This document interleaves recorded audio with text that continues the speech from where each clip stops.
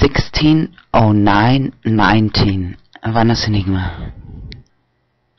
These last days I watched many videos um, typing in YouTube acne, FTM, female to male, or testosterone. By the way, I'm a little over three months on T now.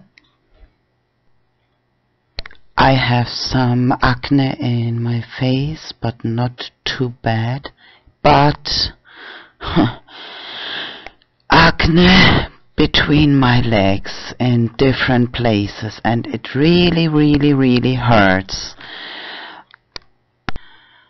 And this is the main reason why I decided to lower my testosterone dose from 37 milligram to only 25 milligram per day.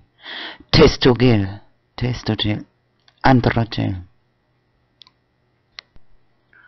In 2010 I had already once an surgery of Bartolini, uh, en español, glándula de la lubrificación oh, I was traveling between Gran Canaria and Germany and uh, oh, didn't have the insurance here in Germany for emergencies and I had to pay all of my own pocket first several times. They just not even had a look and, and charged my money.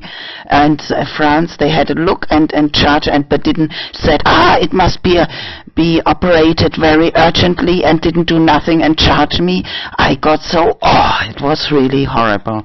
So um, now on the other side I've got like this big swelling. It looks like almost like this Bartolini in 2010 and I'm so uh, I okay I'm here at the moment still in Germany uh, just emergencies but I I know that with the consequence of testosterone is acne in different places but it's really very annoying uh, between the legs and especially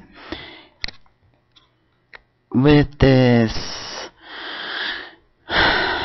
libido sex drive caused by testosterone and this hunger to masturbate. And this is another reason. Okay i don't complain too much about just when i try to sleep.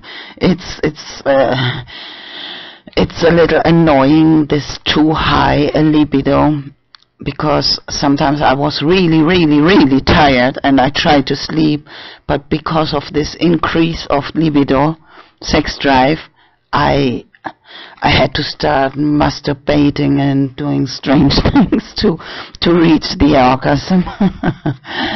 uh, but having this very annoying and painful acne between the legs it's better to have this libido sex drive not too high because uh, you are going to annoy this much more. So in the end this is the second reason why I lowered my testosterone dose from 37 to 25 milligram of Testogel. I heard from another YouTuber that he, he suffered from acne too very much and because more because of the fear of hair loss he stopped testosterone for a time but in this time his acne got even worse. Do you understand? It got worse. So it seems like stopping completely doesn't help either. So um, anyway, ah, I'm interested in people who are on this very low dose too. and ah and another question if there if somebody has observed if different types of testosterone cause more or less acne. Sorry for not showing my face in this video, but this is almost TMI, too much information.